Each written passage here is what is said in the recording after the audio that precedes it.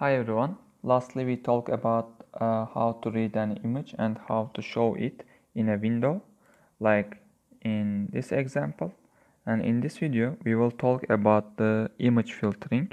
Uh, as I said in the first video, I am following this plan. In image filtering, why we using filters before starting?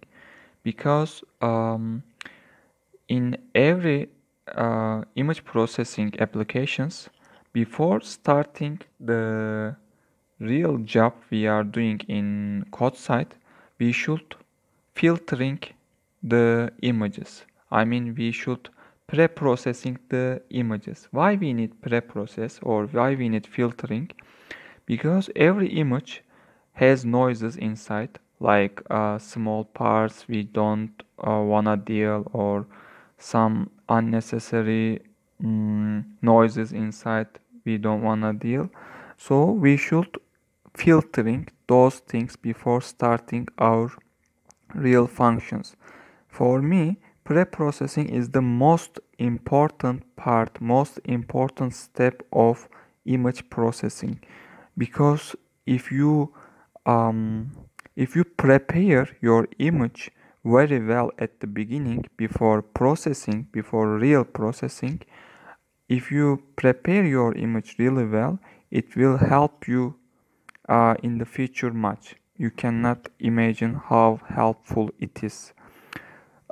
Many people having have problem in their applications cause of just not uh, making really good filtering. So that's why we need filters in image processing. Today uh, I will not talk about all in here. I will just talk about bilateral filter and Gaussian blur, median blur.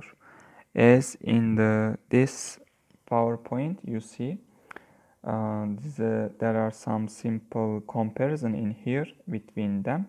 We will talk about this at the end. Oh, actually I added these two also but I will talk about them uh, when we at the end. So first of all let's talk about bilateral filter. In C++ here is the design how we using this filter how we using this function. Um, inside we are giving simply source image then output second one which one we wanna get giving then this d is the diameter. Mm, diameter I mean let me show him from here. For example when you zoomed uh, for this pixel if we giving 2 diameter it will consider this rectangle. This rectangle and deal with this uh, with these uh, pixels for processing about that then sigma color and sigma space. These are the space sigmas uh, which the function actually using in here. If people really wanna um, interested about this math, math side, they can deal. But nobody really knows these functions and I also don't know actually because you don't need to invent the wheel again. These are many math in above uh, in background uh, in my opinion you don't really need to know these all. I also don't know as I said this sigma is the sum uh, parameter inside of this equation in background. So just you should know when uh, which parameter values you should give them and when you should give them. If you know that I think it's enough. And this border type also not important even always using border default is okay so in code side how we using this actually? Let's define as for example Mat for output actually. At the beginning let's say bilateral image then calling the function. In, this function is in the this header file so don't forget to adding this header. And calling the bilateral filter and our source is image. We want is in the output bilateral image and diameter. Uh, how you will choose for example diameter. If you choose diameter small it means it will deal with the uh, small uh, closer very closer pixels.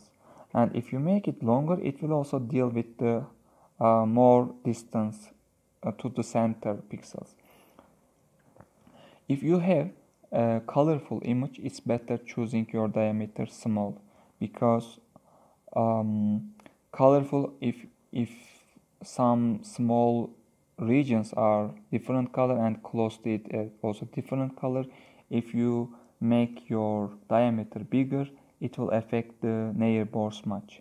It will be affected by the neighbor much. So in colorful images use small diameter. In not very colorful images use the longer diameter bigger bigger diameter so for example my image uh, not really much colorful. Let's choose 15 then sigma color as also in the documentation they are suggesting. Choose the that between 10 and 15 150 so this is according to experiences they are saying if you, you uh, choose longer than this it will have a big effect. If you choosing more smaller than 10 it will less effect so, so let's choose the middle middle one. And second sigma space not really affecting actually according to my experiences. So don't need to change it much. Just keep 45 60 something like that. And also border type not important. After doing this let's see our images. Let's say bilateral and bilateral image.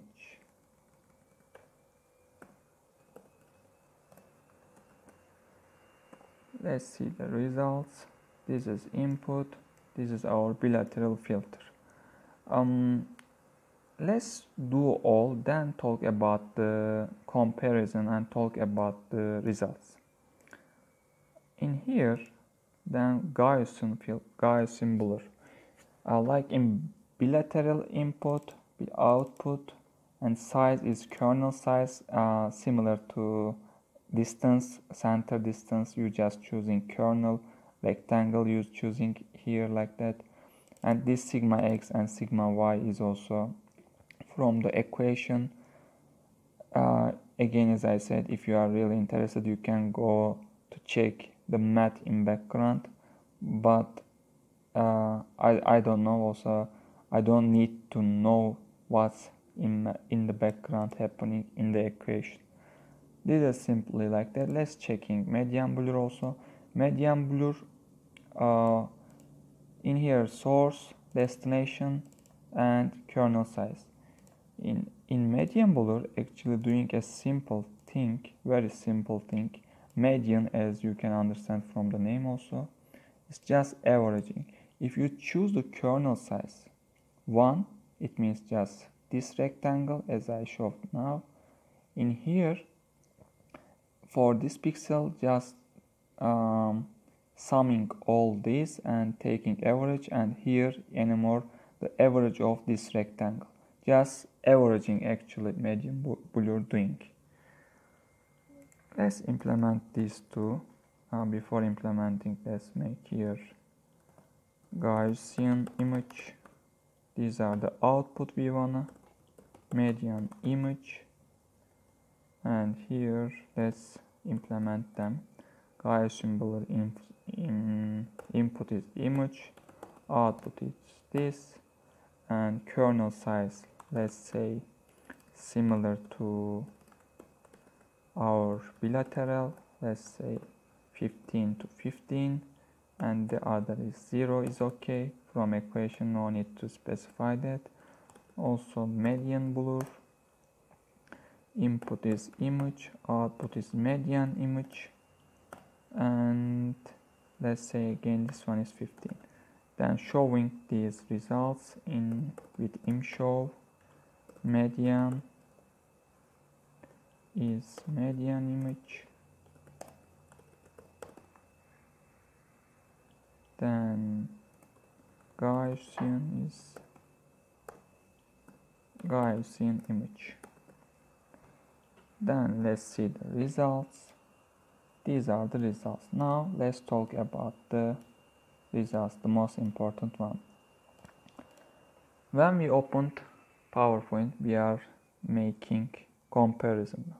These are I didn't talk and these places empty because blur and box filter is not used generally. People not choosing these to use. The reason is clearly they are not useful. They are old uh, and old style. Uh, also median blur is just like summing of these two equation. So I didn't list them. Also I will not talk about these two from the list in here in this list I will not talk about box filter and the and the blur one because of I also don't use these are and no need to know. These three is important for us. Bilateral filter is as I said edge uh, edge preserving smoothing and Gaussian medium blur non-edge preserving smoothing. What I mean by saying this, let's talk about the results.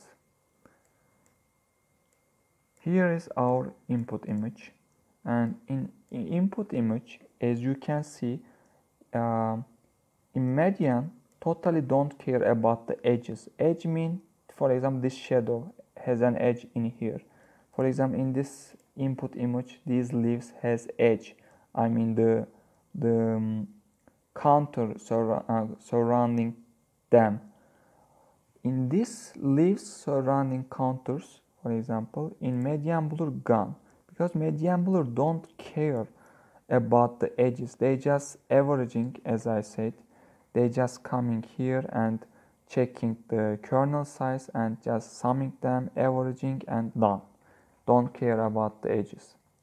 Gaussian blur more better than median and oh, but still don't care about the edges. And it's just using Gaussian model which is a mathematic about mathematic uh, not directly um, averaging but doing some more better mathematical operation in background. Bilateral filter is the advanced one and it really care about the edges. It does that's why the name also if you see in here the name of function bilateral filter not blur but these are Gaussian blur and median blur. They are not uh, they are actually the name also including blur their job also making the images blur but bilateral is inside also function inside also including filter. So not really blurring and the leaf of this plant also can be seen in here uh, not clearly but still not uh, losing that edges why now uh, this contour losing uh, in some application like this Im image just an example many uh, many images different images you will deal with. And if you need if you don't want to lose this detail for example this can be different things in your site you don't want to lose this uh, three leaves for example or other other things inside of your image uh, maybe bilateral filter will be more better for you.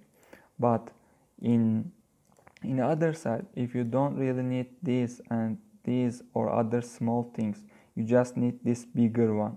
So maybe better using medium filter for you. Nonlinear linear linear. Um, this is about mathematics side linear functions working more quickly. Nonlinear functions little slowly. Comparing to linear one also I talk about here about speed. Bilateral filter really slow. Uh, don't forget this in the life. It's always same. If something valuable if something good is generally taking cost. Uh, little expensive. In image processing side expensive means taking long time.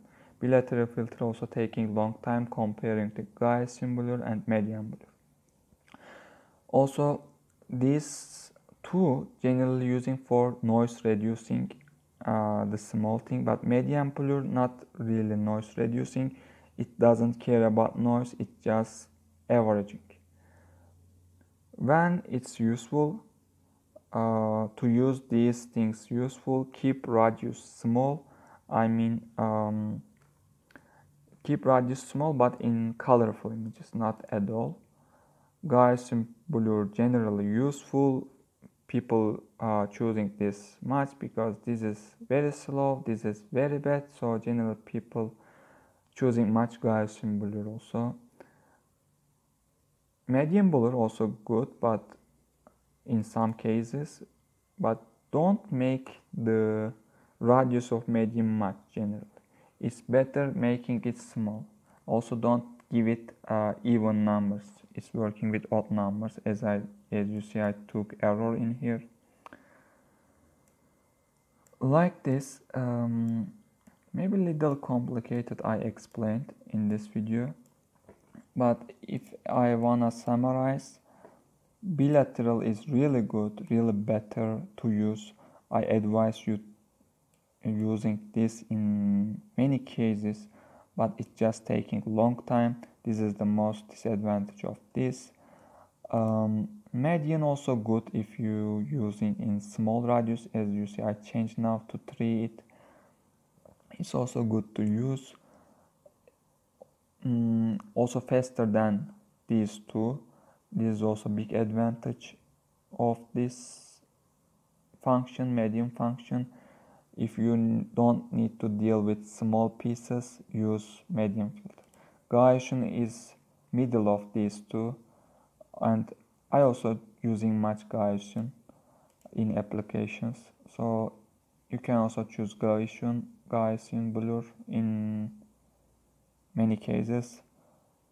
Yeah generally these two three functions these three filters is the main filters in in OpenCV uh, main filter function of OpenCV. In this list we just talked today about those. In the next videos we will continue from this list. For this video enough I think. Little longer also. Thanks for listening see you in the next videos